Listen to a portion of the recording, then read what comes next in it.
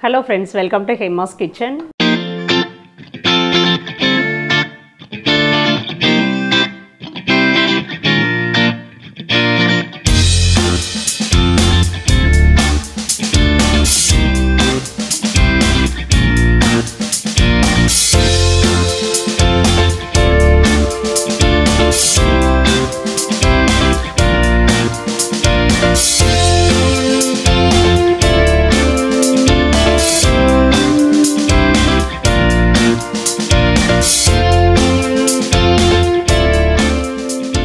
நம்ம வாழைத்தண்டு கூட்டு செய்ய போகிறோம் ஒரு ஸ்பூன் எண்ணெய் ஊற்றிக்கிறேன் வெங்காயம் வதக்குறதுக்கு மட்டும் இப்போ கொஞ்சமாக எண்ணெய் சேர்த்து வதக்கிக்கலாம். நம்ம கடைசியாக தாளிச்சிக்கலாம். இப்போ இதில் பொடியை கட் பண்ணி வச்ச ஒரு பெரிய வெங்காயம். வெங்காயம் வதக்கிக்கலாம்.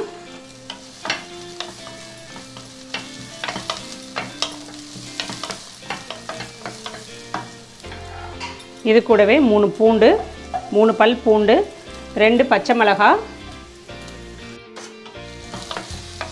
இதில் நல்லா வதக்கிக்கோங்க.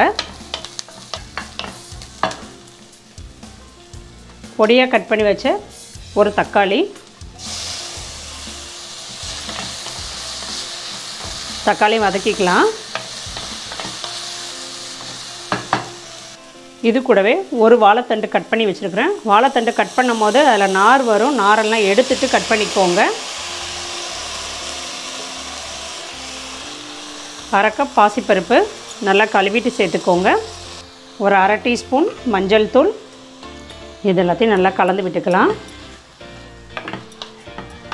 இதை நீங்கள் வந்து கொஞ்சம் திக்காக வச்சிங்கன்னா சாதத்து கூட சைடில் கூட வச்சு சாப்பிட்டுக்கலாம். இல்லை கொஞ்சம் தண்ணியாக வச்சிங்கன்னா சாதத்தில் போட்டு பெரட்டியும் சாப்பிட்டுக்கலாம். இப்போ இது கூட ஒரு ரெண்டு கிளாஸ் தண்ணி சேர்த்துக்கிறேன். உப்பு தேவையான அளவு. இப்போ இதை மூடி வச்சுக்கலாம். ஒரு மூணு விசில் ஹையில் வச்சு எடுத்துக்கோங்க. இன்றைக்கி மதியம் லஞ்சுக்கு பார்த்திங்கன்னா பூண்டு குழம்பு தான் வச்சுருக்கிறேன். நல்லா தக தகன்னு எண்ணெய் மினுங்க மினுங்க நல்லெண்ணெய் ஊற்றி செஞ்ச பூண்டு குழம்பு. அதுக்கு தான் இந்த வாழைத்தண்டு கூட்டு வச்சுருக்கிறேன். புளிக்குழம்பு காரக்குழம்புக்கெலாம் நல்லாயிருக்கும் இந்த வாழைத்தண்டு கூட்டு. கண்டிப்பாக செஞ்சு பாருங்கள் பூண்டு குழம்பு ரெசிபி நம்ம சேனல் ஏற்கனவே போட்டிருக்கிறேன். அதோட லிங்க் கொடுக்குறேன். பார்த்துக்கோங்க. நல்லா திக்காக இருக்குது. சாப்பிட்டுட்டு அப்படியே எடுத்து வச்சிட்டோம்னா நாளைக்கு நம்ம வச்சு சாப்பிட்லாம். இட்லிக்கு சூடான இட்லிக்கு இந்த பூண்டு குழம்பு ரொம்ப நல்லாயிருக்கும். அப்படியே இருக்கட்டும். இங்கே ரசம் செஞ்சு வச்சாச்சு.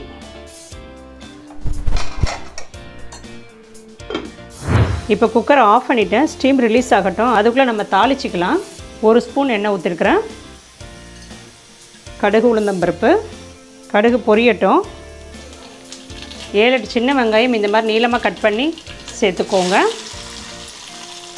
சின்ன வெங்காயம் நல்லா வதங்கி வரணும். அது வரைக்கும் நல்லா வதக்கிக்கோங்க. இது கூடவே பெருங்காயம். வெங்காயம் நல்லா வதக்கிக்கலாம். இது கூடவே மூணு வத்தல் கிள்ளி சேர்த்துக்கோங்க. வெங்காயம் இந்த மாதிரி நல்லா ப்ரௌன் கலரில் வரணும். இப்போ அடுப்பு ஆஃப் பண்ணிக்கலாம். குக்கரை ஓப்பன் பண்ணிவிட்டேன் நல்லா வெந்துடுச்சு பாருங்கள் இந்த மாதிரி நல்லா பாசிப்பருப்பு நல்லா குழஞ்சி வரணும். இப்போ ஒரு ரெண்டு நிமிஷம் அப்படியே நம்ம இதில் அடுப்பில் வச்சுருக்கலாம். நல்லா சுண்டி வரணும். உங்களுக்கு இந்த அளவுக்கு இருந்தால் போதும்னு நினச்சிங்கன்னா இப்படியே ஆஃப் பண்ணிக்கோங்க. இதை நீங்கள் சாதத்தில் கூட அப்படியே நீங்கள் போட்டு சாப்பிட்லாம். நல்லாயிருக்கும் நான் வந்து இன்னும் நல்லா சுண்டை வச்சு எடுக்க போகிறேன் அதனால் ஒரு ரெண்டு நிமிஷம் மட்டும் அடுப்பில் வச்சுருக்கிறேன். இது கூடவே தேங்காய் துருவல் சேர்த்துக்கிறேன்.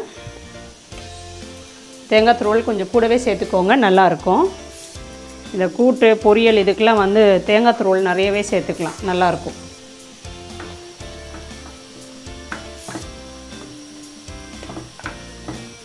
உப்பு காரம் இருக்கான்னு பார்த்துக்கோங்க. வத்தல் போட்டிருக்கிறோம் அதனால் காரம் சரியாக இருக்குது உப்பு கரெக்டாக இருக்கான்னு செக் பண்ணிக்கோங்க. நல்லா சுண்டி வந்துடுச்சு இந்த மாதிரி வரணும். இப்போ நம்ம தாளிச்சதை சேர்த்துக்கலாம்.